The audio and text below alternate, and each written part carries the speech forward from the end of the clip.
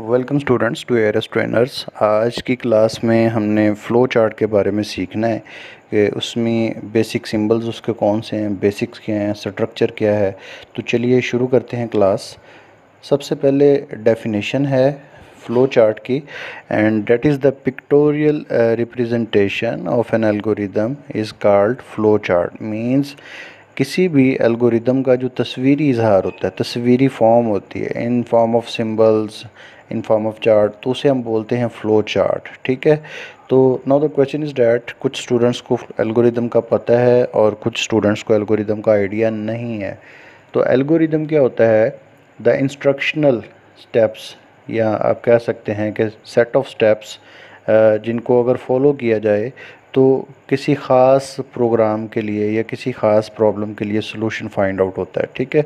सो finite ये finite number of steps होते हैं, महदूद, ये नहीं कि अनलिमिटेड स्टेप्स जो हैं, उसे एल्गोरिदम कहते हैं, ठीक है? सो इंस्ट्रक्शनल मटेरियल जो है, उसको, जो रिटर्न फार्म में होता है, उसको हम जैसे स्टेटमेंट्स होते हैं, उसे एल्गोरिदम बोलते हैं, और अगर उसी एल्गोरिदम को हम तस्वीरी शक्ल में बदल दें तो उसको फ़्लो चार्ट बोलते हैं। तो चलिए डेमो लेते हैं, लेकिन डेमो लेने से पहले मैं चाहूँगा कि आपको कुछ कॉमनली यूज़ सिंबल्स बताए जाएँ।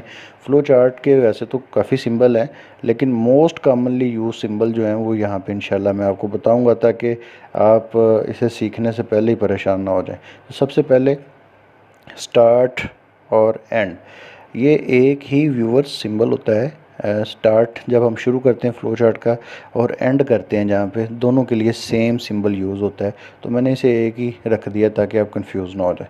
उसके बाद है input and output symbol that is also same इसकी शेप बिल्कुल एज इट इज़ ही होती है। इनपुट लेते वक्त भी और आउटपुट के वक्त भी।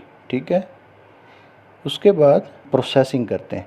तो प्रोसेसिंग में जो भी आपने एक्शन अरिथमेटिक हो या लॉजिक ऑपरेशन हो, वो परफॉर्म करना है तो वो आप प्रोसेसिंग में करते हैं। व्यूअर्स जब भी हम सिंबल ड्रा करते हैं फ़्लो चार्ट के लिए तो हर सिंबल से एक फ़्लो लाइन भी निकलती है, जो दूसरे सिंबल को आपस में लिंक करवाती है। ठीक है? So that flow lines are use to link the symbols अब ये तो सादा सा फ़्लो चार्ट बनाने के लिए कॉमनली यूज़ सिंबल्स हैं। ठीक है? अब कुछ ऐसे भी प्रोग्राम्स होते हैं जिनके लिए फ़्लो चार्ट हम बनाते हैं तो वहाँ पे डिसीज़न मेकिंग की ज़रूरत होती है। सो फॉर डैट रीज़न्स हम यूज़ करते हैं डिसीज़न सिंबल और ये है उसकी अलामत। ठीक है जी? ये हमारा डिसीज़न सिंबल्स तो चलिए टाइम वेस्ट होने से बचाते हैं और एक डेमो लेते हैं प्रोग्राम का। फ़्लो चार्ट हमने ड्रा करना है। जिसमें हमने सम फाइंड करना है दो वेरिएबल्स का। दो वेरिएबल्स ए और बी हमारे पास यहाँ पे नज़र आ रहे हैं, ये ए एंड ये बी और ये सम जो हमने स्टोर करवाना है, ये वो सम है। ठीक है जी? तीसरा वेरिएबल चलिए जी नंबर वन पे स्टार्ट हमने कर दिया स्टार्ट सिंबल से, ठीक है? उसके बाद जब स्टार्ट आ जाएगा तो इसमें से एक फ़्लो लाइन यहाँ से निकलेगी। तो ये फ़्लो लाइन आ गई, ठीक है जी? फ़्लो लाइन भी आ गई तो अब हमने इनपुट लेनी है ए और बी के लिए। व्यूअर्स आप चाहें तो एक ही सिंबल में दोनों इनपुट ले सकते हैं, या फिर ए एक इनपुट ए में ले लें और एक दोबारा इसी तरह का सिंबल बनाएँ और बी लिख दें इनपुट बी लेकिन मैंने एक ही ले लिए, दो की ज़रूरत नहीं है। फ़्लो लाइन और उसके बाद जब इनपुट ले ली गई है तो फिर हमारे पास क्या आएगा? प्रोसेसिंग और प्रोसेसिंग में हमारे पास ये क्या है जी? Sum is equal to A plus B ये हमारी प्रोसेसिंग है। ठीक है जी? इसके बाद flow line and then output symbol output symbol में आपने अच्छा इनपुट में आपने देखा है कि ये इनपुट हमने लिखा हुआ है कीवर्ड यहाँ पे हमने प्रिंट लिख दिया इट्स वेरी स्टूडेंट्स मुख्तलिफ़ लैंग्वेज के अंदर या आम तौर पे प्रिंट का वर्ड कीवर्ड यूज़ होता है फ़ंक्शन तो जी डब्ल्यू बेसिक में प्रिंट यूज़ होता है to display something on the screen screen पे अगर हमने कोई भी चीज़ डिस्प्ले करवानी है तो उसके लिए हम प्रिंट का कीवर्ड यूज़ करते हैं, ठीक है जी?